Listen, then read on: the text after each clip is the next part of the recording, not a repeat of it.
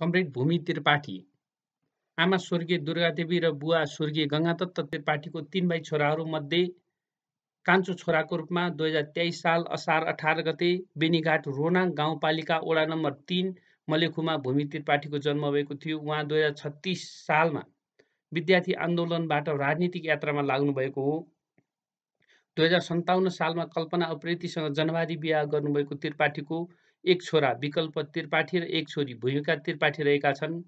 राजनीतिक सँगसँगै औपचारिक अध्ययनलाई निरन्तरता दिई कानुनमा स्नातक राजनीतिक शास्त्रमा स्नाकोत्तर गर्नुभएको त्रिपाठी हाल नेकपा एमाले जिल्ला कमिटी धादिङको अध्यक्षको जिम्मेवारीमा रहनुभएको छ।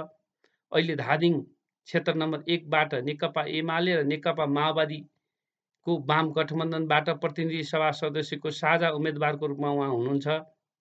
धादिङ क्षेत्र नम्बर एक कमा अडसठी हजार चार सौ अन्ठाउन्न मतदाता रहेका छन् भने एक खमा बाहन्न हजार छ सौ बयानब्बे गरी जम्मा एक लाख अठार हजार एक सौ पचास मतदाताहरू रहेका छन्।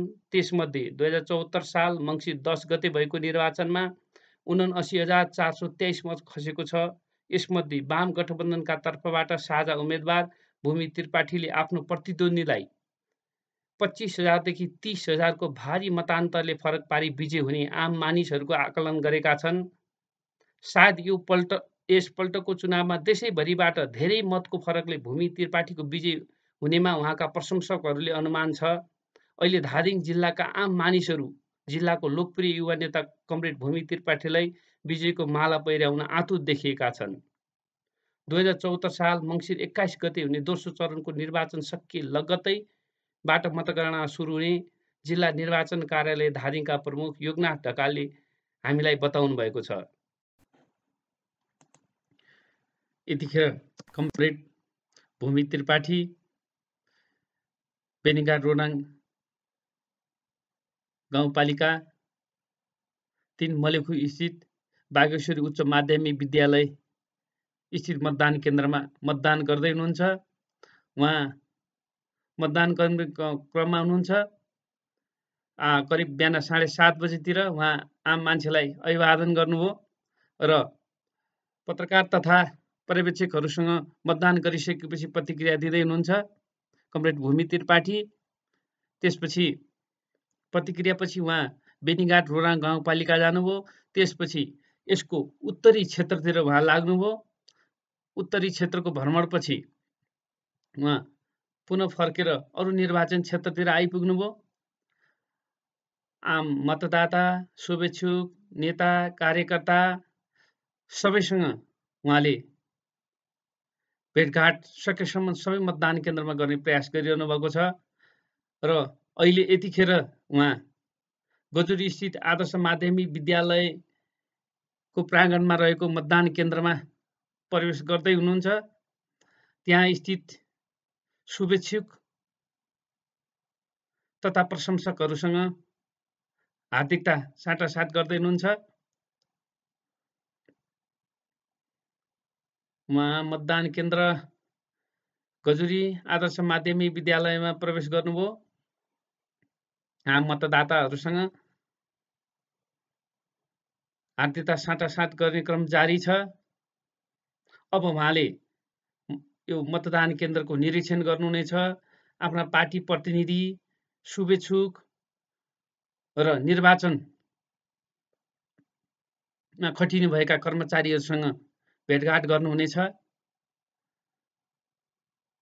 हुन त यो महिनौको चुनावी दौरानमा भौतिक रूपबाट शिथिल हुनुभएका उहाँहरू मानसिक रूपमा कति पनि विचलित हुनुहुन्न। आफ्नो एजेन्डा आफ्ना पार्टीका उद्देश्यको निम्ति निरन्तर लागिरहनु भएको छ। यो महिनौसम्म उहाँहरूको दैनिकी यस्तै छ। आज मतदानको दिनसम्म पनि उहाँहरू कति पनि विचलित हुनुहुन्न। हुन त कमरेड भूमि त्रिपाठी आफ्ना कार्यकर्ता शुभेच्छुकसँग मात्र लोकप्रिय हुनुहुन्न। उहाँ आम मान्छेसँग धादिङको सबैसँग उत्तिकै हार्दिकता उत्तिकै भाइचारा सम्बन्ध छ किनकि उहाँ स्वच्छ निष्कलङ्क र आफ्नो उद्देश्यप्रति कटिबद्ध हुनुहुन्छ। यसर्थ पनि उहाँ सबै बिच लोकप्रिय हुनुहुन्छ। त्यसैले उहाँ सबै मतदाता सबै पार्टी प्रतिनिधि सबैहरूसँग उत्तिकै भेटघाट गर्नुभएको छ। यहाँ मात्र गजुरी आदर्श माध्यमिक विद्यालयको केन्द्रमा जो देखिरहनु भएको छ यो सबै मतदान केन्द्रमा उहाँको हार्दिकता उत्तिकै छ उत्तिकै भेटिरहनु भएको छ। यसले के देखाउँछ भने उहाँ नेकपा एमालेको तर्फबाट अथवा वामपट्टि गठबन्धनको तर्फबाट चर्चित उम्मेद्वार मात्र होइन। सबैको साझा उम्मेद्वार हो भन्ने किसिमको कुरा यसले प्रमाणित गर्दछ। अहिले गजुरीको गजुरी स्थित आदर्श माध्यम माध्यमिक विद्यालयको प्राङ्गणमा भला भलाकुसारीको क्रम जारी छ। अब यस पछाडि उहाँ बैरेनी नौबिसे हुँदै अरू सकेसम्म मतदान केन्द्रमा जाने प्रयासमा हुनुहुन्छ। सकेसम्म उहाँले भ्याएसम्म सबैमा पुग्ने प्रयास गर्नुहुन्छ। प्रयास जारी छ किनकि जानु पनि पर्छ। जनताको लोकप्रिय नेता। उहाँले आज बिहानदेखि यो क्रम जारी राख्नुभएको छ। अहिले गजुरी मतदान केन्द्रको यो भ्रमणपछि उहाँले करिब बाह्र बजेको यो समयमा उहाँ यो गजुरी मतदान केन्द्रमा हुनुहुन्छ। पश्चिम भेग भ्याएर उहाँ अब पूर्वको एरियातिर पूर्वको क्षेत्रतिर लाग्दै हुनुहुन्छ। अहिले गजुरी मतदान केन्द्रमा नियोगको अध्यक्ष र अरू पर्यवेक्षकहरू शान्तिपूर्ण चुनावको बारेमा कुराकानी गर्दै हुनुहुन्छ। यसपालिको चुनाव धेरै शान्तिपूर्ण भयो भन्ने हिसाबले धेरै छ। प्रतिक्रियाहरू पनि धेरै मान्छेहरूले दिइरहनु भएको छ। यतिखेर फेरि हामी मलेखु स्थित बागेश्वर उच्च माध्यमिक विद्या विद्यालयको प्राङ्गणमा छौँ। त्यहाँ आम मतदाताहरूले आफ्नो प्रतिक्रिया दिइरहनु भएको छ। करिब करिब पाँच बजेको यो यो समयको सन्दर्भमा हामीले अर्का प्रदेश सभा के क्षेत्र नम्बर एक खका प्रदेश सभाका उम्मेद्वार शालिग्राम जमकटसँग पनि कुरा गर्ने दुई उम्मेदवारहरूसँग गर्नेछौँ। यहाँ देखिरहनु भएको छ तपाईँहरूले एम्बुलेन्समा अशक्तहरू आउनु भएको छ बिरामीहरू आउनुभएको छ कति उत्साहका साथ यहाँ यो चुनावलाई चाहिँ तपाईँहरू जनप्रतिनिधि कहिले प्राप्त गर्ने भनेर मान्छेलाई कौतूहल भइसकेको छ। अबको यो पाँच बज्न लागेको छ पाँच बज्न लागेको बेलामा हामीले चुनाव सकिने साथ हाम्रा यस क्षेत्रका लोकप्रिय निर्वाचन भर्खरै सिद्धियो। सिद्धिने लाग्यो भन्दा पनि भयो दुई मिनट बाँकी छ। आज हामीसँग धादिङ क्षेत्र नम्बर एक प्रतिनिधि सभा सदस्य धर्मी त्रिपाठी र चाहिँ एक सार्लियान दम्पटी जो हुनुहुन्छ। उहाँलाई सोध्नु कस्तो लाग्यो आजको चुनाव? यो चुनाव नेपालको इतिहासमा पहिलोपटक अनुभूति गरेको चुनाव हो नयाँ संविधानपछि सङ्घीय लोकतान्त्रिक गणतन्त्र नेपालको पहिलो निर्वाचन हो। यसमा मतदाताहरू उत्साहित भएर खुसी भएर नयाँ नेपाल निर्माण गर्ने निर्वाचन हो अब विकास र समृद्धिको निर्वाचन हो भनेर एकदम शान्तपूर्वक मतदाताहरू उत्साहित भएर मतदान केन्द्रमा उपस्थित भएको पाइयो। धेरै मतदाताहरूले हामीलाई खास गरिकन वाम गठबन्धनका उम्मेदवारहरूप्रति विश्वास गरेको हामीलाई देखिँदै विपक्षी पार्टीका मतदाताहरू पनि लु तपाईँहरूले जित्ने हो हाम्रो ठाउँको विकास तपाईँहरूले गर्ने हो हाम्रो प्रतिनिधि तपाईँ हो भनेर बधाई शुभकामना हरेक मतदान केन्द्रमा त्यस्तो पाइयो। यहाँहरूले भन्दै आउनु भएको थियो नि चुनावी सन्दर्भमा। हाम्रो त खै प्रतिपक्ष नै छैन जस्तो भएको छ भनेर भनेपछि त्यस्तो वाम गठबन्धनको लहर चाहिँ त्यस्तो थियो यसको पछाडि धेरै आधारहरू थियो। हामीले विगतमा पनि भन्यौँ हामी प्रतिस्पर्धी दुई पार्टीहरू। यो मुलुकका ठुला कम्युनिस्ट पार्टीहरू हाम्रो जिल्लाको सन्दर्भमा भन्ने हो भने प्रतिस्पर्धा नै एमाले र माओवादी केन्द्रको बिचमा हुन्थ्यो। प्रतिस्पर्धी पार्टीहरूको गठबन्धन भइसकेपछि हाम्रो प्रतिस्पर्धा कोहीसँग पनि थिएन। त्यस कारणले चाहिँ यो निर्वाचनमा हामीले विपक्षीहरू नै देखेनौँ। विपक्षी मतदाता भनेर चिनिएकाहरूले पनि हामीलाई शुभकामना दिए। तपाईँहरू जित्ने हो। हामीले भोट हाले पनि नहाले पनि जित्ने तपाईँहरूले हो। मानसिक मान एकदमै एकदमै। अनि यो तपाईँहरूको अहिले यो मत चाहिँ भारी मतले फरक हुन्छ भन्ने अनुमान गरिएको छ। अहिलेसम्मको रेकर्ड तोडी। अनुमान के कस्तो छ? अनुमान हामीले भर्खरै चुनाव पाँच बज्यो सिद्धियो। हामीले एक नम्बर यो क्षेत्रको सन्दर्भमा भन्ने हो भने धादिङको प्रतिनिधि सभा क्षेत्र नम्बर एकमा हामी दोब्बरभन्दा बढी मतले जित्छौँ। यो प्रदेश सभाका दुइटै क्षेत्रमा दोब्बर मतले अब हाम्रो यो प्रदेश क्षेत्रमा भनौँ न यसमा तिनवटा गाउँपालिका छ। गजुरी बेनीघाट रोराङ र सिद्धलेक अ, यो कथित लोकतान्त्रिक गठबन्धनको उम्मेदवारले सिङ्गो यो प्रदेशमा ल्याए भन्दा बढी हाम्रो यो बेनीघाट रोराङ गाउँपालिकाले ल्याउँछ। वाम गठबन्धनले। भनेपछि प्रतिस्पर्धा भन्ने कुरा भएन भएन अनि यो कतै आज कतै छिटफुट कतै बमहरू यस्तो यस्तो पनि अवरोध पनि हुन लाग्यो अवरोध गराउन खोजिएको देख्यो। खास गरिकन वाम गठबन्धनका उम्मेदवारहरूको पक्षमा मत बढी खस्ने चिटचिटाहट हो चिटचिटाहट भएर अब हुन त यो आवरणमा विप्लवको नाम लिएर यसमा यो कथित लोकतान्त्रिक गठबन्धनका मान्छेहरू हामीलाई जानकारी छ। तिनका मान्छेहरूमा सेल्टर लिएर बसेका। हामीलाई सूचना छ सेल्टर उनीहरूमा लिने उनीहरूको पैसा खाने उनीहरूको भात खाने अनि सकेट बम लिएर गएर चाहिँ लोक हाम्रो चाहिँ हाम्रो गठब वाम गठबन्धनको उम्मेदवारहरूको चाहिँ मतलब पक्षमा मत बढी खस्छ भन्ने ठाउँमा लगेर राख्ने पड्काइदिने हो पड्काइदिने राति लगेर पड्काउने अनि बाटोमा बम राखिदिने आतङ्कित बनाउने। छलफलमा स्वागत। तपाईँहरूको यो जोडी खुब जम्या छ।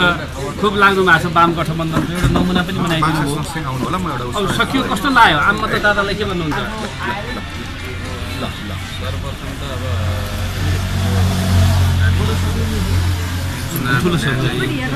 सर्वप्रथम त यो निर्वाचन यो निर्वाचन यो निर्वाचन यो संविधान जारी भइसकेपछि पहिलो निर्वाचन हो। ऐतिहासिक संविधान सभाले जो संविधान घोषणा गर्यो र हामीले नयाँ नेपालको जो पुनर्संरचना गऱ्यौँ त्यो पुनर्संरचना पछिको अ, प्रदेश सभा र प्रतिनिधि सभाको निर्वाचन भएको हुनाले यो निर्वाचन आफैमा एउटा ऐतिहासिक महत्त्व राख्ने निर्वाचन हो। र अब यो निर्वाचनमा सहभागी हुने सबै आदरणीय जनसमुदायहरूलाई म गठबन्धनको तर्फबाट हार्दिक धन्यवाद दिन चाहन्छु। र यो निर्वाचन भाग्नको निम्ति धेरै ठुलो चलखेलहरू भए धेरै घटनाक्रमहरू घटाउन कोसिसहरू गरिए। तैपनि जनताको एउटा ठुलो सहभागिताको साथ यो निर्वाचन सम्पन्न भएको छ। जनताले यो संविधान अ, बाट प्राप्त अधिकार संस्थागत गर्न चाहन्छन्। जनताले सङ्घीय लोकतान्त्रिक गणतन्त्र नेपाल संस्थागत गर्न चाहन्छन्। यसलाई अझ अगाडि बढाउन चाहन्छन् भन्ने एउटा सन्देश आफ्नो जनमत मार्फत दिएका छन्। त्यसैले हामीले यो गठबन्धनको तर्फबाट आम जनसमुदायलाई विशेष धन्यवाद दिनुपर्छ। र म आफैलाई भन्नुपर्दा म आफैले यो निर्वाचनमा सहभागी हुन पाउँदा अति नै गर्व महसुस भएको छ किनकि यो बिरलै हुने निर्वाचन यहाँहरू दुईजनालाई म यो यो निर्वाचन सम्पन्न भइसक्यो। यहाँहरू आफू कन्फिडेन्ट पनि हुनुहुन्छ र जनमत पनि त्यस्तै देखिन्छ। तपाईँहरूको यो चुनाव अगाडि जसरी वाम गठबन्धन एकदम मिलेर तपाईँहरू लाग्नु भएको छ आम मतदातालाई बताइदिनुहोस् त तपाईँहरूको यो निरन्तरता चाहिँ कस्तो हो? तपाईँहरू दुवैजनाले मेरो यो प्रश्न। उहाँहरू पनि प्रश्न अझ हुन चाहन्। भोलिका दिनहरूमा। यस्तो छ। हामी हिजो किन एक भएनौँ र अहिले किन एक भयौँ? हिजो हामी धेरै प्रश्न त गरिसक्नुभयो समग्रमा। म अलिकति राख्छु। हिजो हामी लड्दा लड्दै पनि इस्युमा हामी मिलेका थियौँ तर हामी यति सामिप्यता थिएनौँ होइन?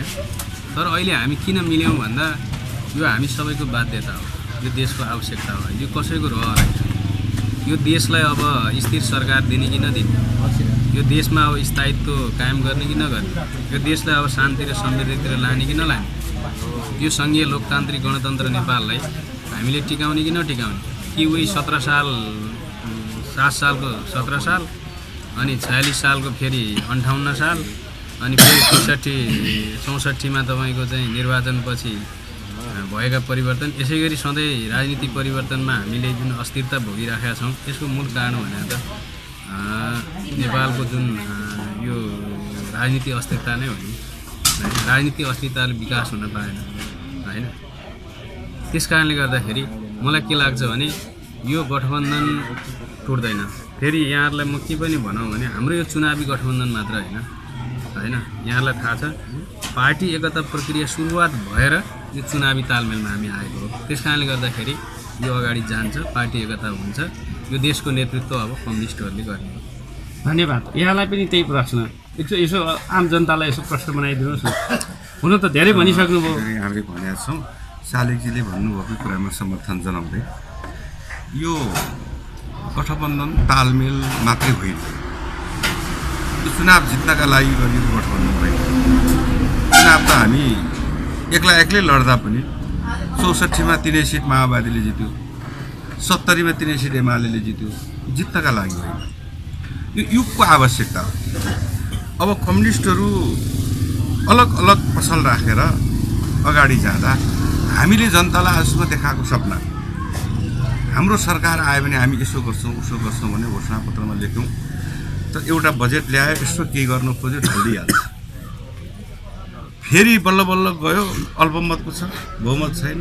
केही गर्न खोज्यो ढालिदिइहाल्छ अनि योबाट हामीले शिक्षा लिएर अब स्थिर सरकार पाँच वर्षसम्म कसैले ढाल्न नसक्ने कसैको बैशाखी नटेकेको सिङ्गो कम्युनिस्ट पार्टीको सरकार दिएर पाँच वर्ष काम गरेपछि हामीले चाहेको विकासको मोडल यो हो भनेर हामी दुनियाँलाई देखाउन चाहन्छौँ त्यस कारणले यो पार्टी एकीकरण प्रक्रिया शालिगीले भन्नुभयो पार्टी एकीकरण प्रक्रियाको थालनी हो यो। कसैले रोकेर रोकिँदैन यो युगको आवश्यकता हो कम्युनिस्टहरूले धेरै भोगे नि त? हामी दुई दाजुभाइ नेपाल आमाका सन्तान। जन्मदा एकै दिन जन्मेको एउटा जन्मेको। सग्लो एउटा कम्युनिस्ट पार्टी जन्मिया छ सालमा। अनि बाटो अलग अलग बाटो हिँड्यौँ पुग्ने ठाउँ गन्तव्य चाहिँ एउटै हो फेरि। अब अहिले हामीले राजनीतिक परिवर्तन गऱ्यौँ जनतालाई अधिकार सम्पन्न गरायौँ। अब आर्थिक समृद्धिमा लाने हो। मुलुकको विकास गर्ने हो। जनतालाई सुखी बनाउने सुखी नेपाली समृद्ध नेपाल भनेको छ हामी त्यो पुरा गर्ने हो भने हामी एक नभइकन सुखै छैन यसको विकल्पै छैन। त्यस कारण यो पार्टी एक हुने कुरामा कसैले शङ्का नगर्दा हुन्छ। हामीले थालनी गरिसकेका छौँ। हामी दुई भाइले त अब अब घोषणा गर्ने निर्वाचन सँगसँगै भनेको छौँ। होइन तपाईँहरूको जोडी पनि अहिले अलि उदाहरणीय पनि भइरहेछ देखाइरहनु भएको छ। यसको दुर्गामी रूपमा हुन्छ भन्ने पनि देखाएको छौँ। खैर हामी यही विषयमा चाहिँ अब तपाईँहरू विजय उन्मुख हुँदै हुनुहुन्छ। तपाईँहरूलाई चाहिँ अग्रिम यो विजयको माला पहिरन शुभकामना। र पछि यो हामी समसामयिक संवाद गर्दा पनि तपाईँहरूको यो वाम गठबन्धन यो एउटै पार्टी भएर जो जाने तपाईँहरूको चाहिँ त्यो मकसद छ जो अभियान छ सफल होस् शुभकामना। धन्यवाद।